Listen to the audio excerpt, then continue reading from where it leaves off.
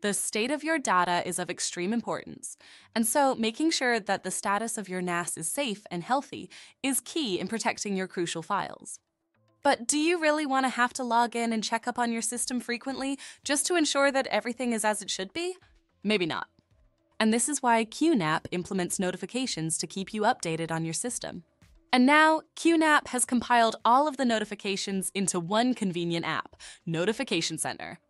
In this tutorial, we'll be going over the types of notifications you can set and how to set a notification. Start by opening the Notification Center.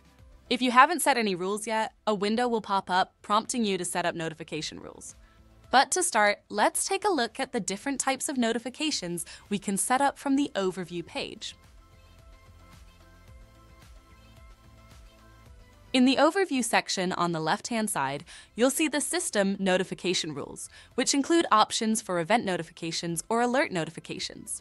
Event notifications include events from various apps and features on the NAS, whereas alerts include warnings and errors with the QNAP NAS.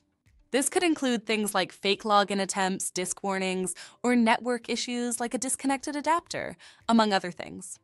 Now, on the right-hand side of the Overview section, you can see various ways in which you can receive notifications, including email, SMS, which is basically a protocol to receive alerts via text message, instant messaging, which gives you the options of either Skype messages or Facebook messages, and push service, which works in conjunction with QNAP's app Q Manager, available for iOS and Android devices.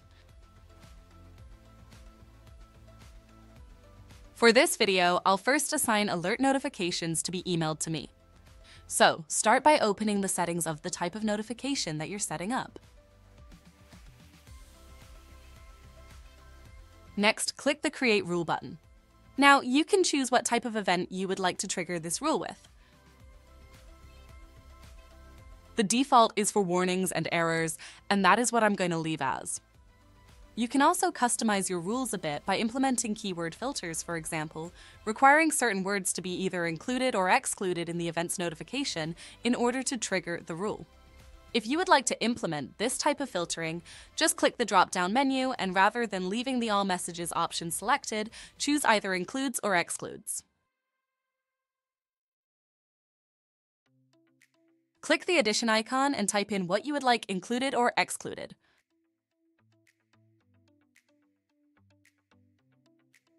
In addition, you also have the option to create a time window for when notifications may occur. You can do this by checking the time range box and inputting the time range that you would like notifications to occur. You can also check another box to be notified if log entries begin to be generated at a certain rate. Once you've made your selections, click Next. On this page is where you will determine which method you would like to receive these notifications by. I'm just going to use email for my method here, to do this, start by selecting an email account to send the notifications to. If your email service isn't listed in the drop-down menu, you can select Custom to input your email server information manually. However, I'm just using Gmail, which is listed right here. Now, input the email address and your credentials and click Allow.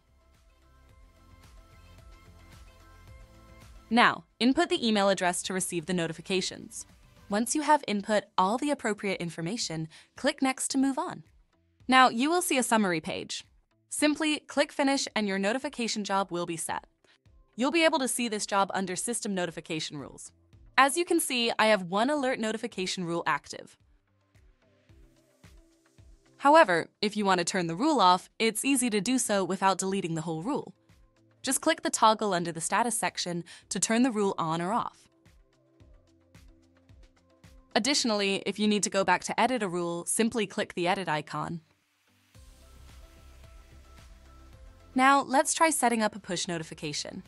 I'm going to start by clicking the Settings button under Push Service. In order to use the push service, you'll need to make sure you have the MyQNAP cloud set up. So I'll just click on the link provided here. Now click Get Started and click Start. Either use an already existing QNAP ID or click Create QNAP ID to create a new one. In the prompter, input a nickname, your email, and a password for the QNAP ID. You can then just confirm your registration from the email that is sent out. Now that the NAS is set up on my QNAP cloud, I can set up the push notifications from the mobile app Q Manager.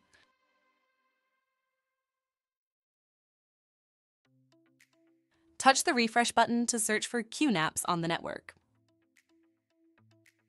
Select the NAS you want to apply your settings to. Then enter the correct user credentials. It will ask you if you want to enable notifications. Select Yes. Turn on notifications. Select Yes again. Now, Q Manager will be paired with the NAS you selected. Meanwhile, back in the Notification Center, you can see that we have a new push service active. You can also filter your notifications in the Global Notification settings. Here you can see that you can edit both the type of notification and the application. So for instance, if I want to disable App Center notifications from SMS and push service, I can just uncheck the appropriate boxes and click Apply to lock in my decision. Receiving notifications is an easy way to maintain the integrity of your data stored on the QNAP NAS without having to frequently check on it manually. Be sure to check out the rest of our videos to better utilize your QNAP NAS.